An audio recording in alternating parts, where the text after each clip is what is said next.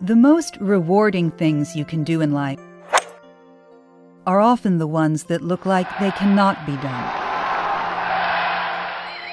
Those words from Wake Forest College alum and greatest golfer of his generation, Arnold Palmer, perfectly describe this place he once called home.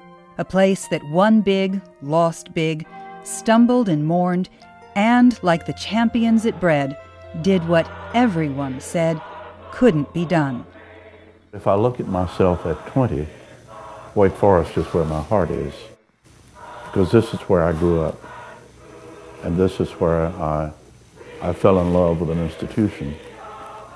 And it is this place that I treasure as I called it once the country of my heart. And I, I, I still believe that.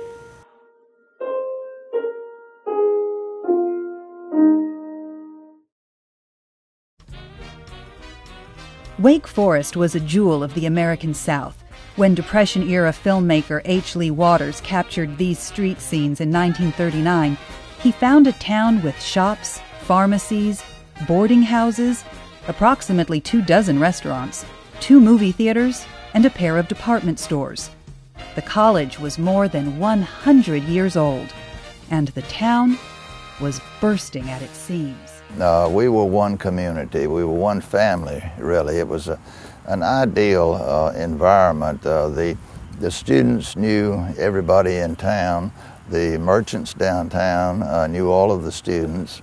We um, cooperated, collaborated, and shared what we had. Uh, downtown, I'd go in and out of the businesses. Everybody downtown, all the owners knew me, and I knew them.